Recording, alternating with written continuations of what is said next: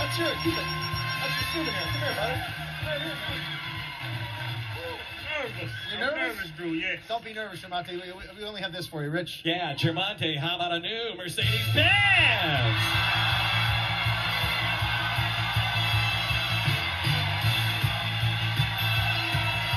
With a touch of modern styling and old world craftsmanship, it's the 2010 Mercedes-Benz E350. This luxury coupe features a 3.5-liter, 268 horsepower V6 engine, panorama sunroof, 14-way power-adjustable front seat, and 7-speed automatic transmission. The Mercedes-Benz E E350.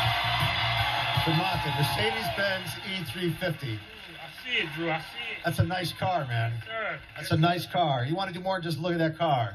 You want to get in it and say, this car is mine. That's what you want to do. That's my car, Drew. Here's what we're going to do. We're going to play a game called That's Too Much. One by one, I'm going to show you what could be a price of a car. And the price is going to get more and more and more as we go. When we get to the price that's just over the actual retail price of the Mercedes E350, you say that's too much. Okay, here we go. We're going to start with $35,980. Higher, Drew. Higher. Brand new Mercedes, $37,118. Higher. Higher. Brand new Mercedes E350, $38,475.